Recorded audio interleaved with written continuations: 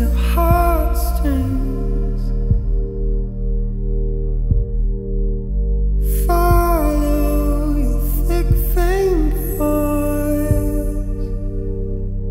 on a show.